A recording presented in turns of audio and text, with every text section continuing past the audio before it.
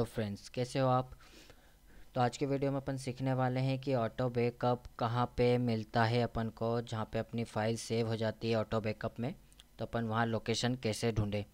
तो आप सिंपल जाओगे यहाँ से और आप ओपन करोगे।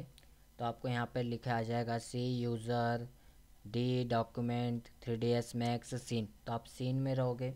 तो आप सिंपल बैक जाओगे तो आपको यहाँ पे ऑटो बैकअप मिल सकता है। अब यहाँ से नहीं जाना है तो आप ये लोकेशन पे भी जा सकते हो। जैसे सी ड्राइव में गए, आप यूज़र में गए, फिर डॉक्यूमेंट में गए। तो बताता हूँ आपको।